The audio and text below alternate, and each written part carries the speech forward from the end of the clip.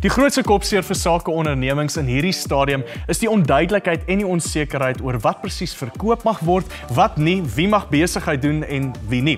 Prokureur en vernoot by Weavent and Weavent Konrad Dormel sluit nou via Skype by ons aan.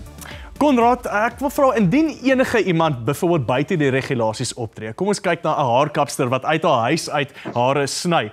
Kan so 'n persoon werklik strafregtelik aan uh, vervolg word? Genoeg Divan, ja inderdaad. Ehm um, die die die regulasies wat uitgereik is in terme van van die van die wet het ehm um, relatief relatiewe ehm um, ernstige ehm um, gevolge vir die wat dit nie nakom nie um, in terme van die regulasies uitgereik is op 25 Maart kan diegene wat nie voldoen aan die regulasie uh, regulasies 'n boete opgelê word of selfs um, 6 maande tronkstraf kry. So dit is bes, bes, dis beslis um, nie na wens om nie regulasies na te kom nie.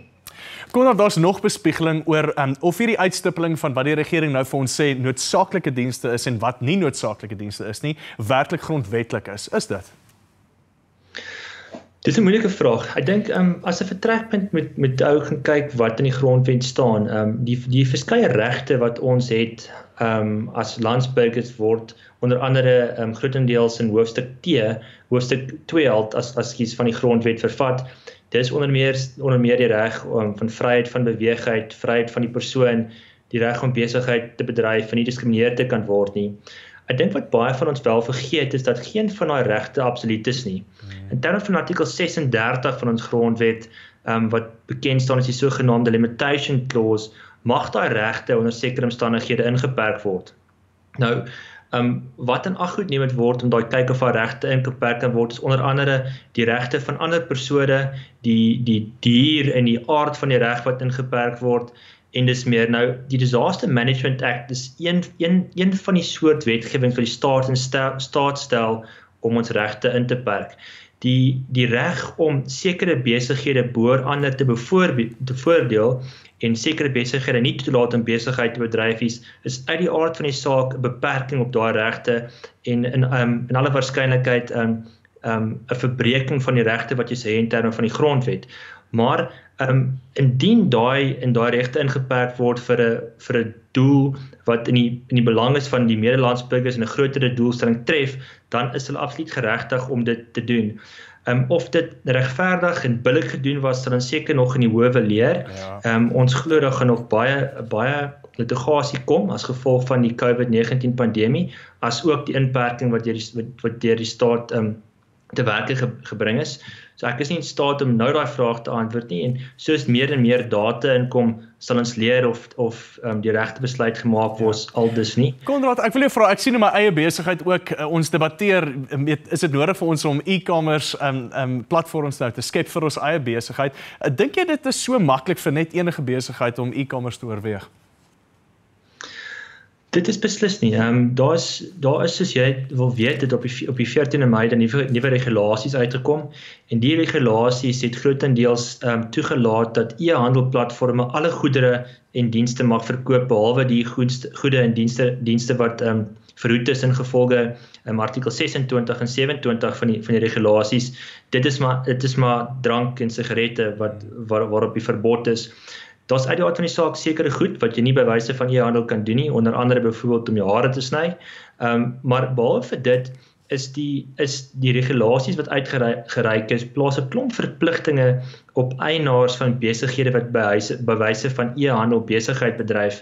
Ehm um, en die diegene wat wat beoog om te doen, ehm um, sou beslis baie noukeurig haar regulasies moet nagaan Maar dis nie al nie. Daar's 'n um, indien jy by wyse van e-handel besigheid bedryf, gaan jy ook seker maak jy's vertroud met onder meer wetgewing soos die sogenaamde Electronic Communications and Transactions Act, ehm um, asook die verbruikersbeskermingswet wat wat onder andere 'n verbruikers in staat stel om sekere regte aangaande die ehm um, teruggee van goedere, elektroniese betalings en dis mee handel.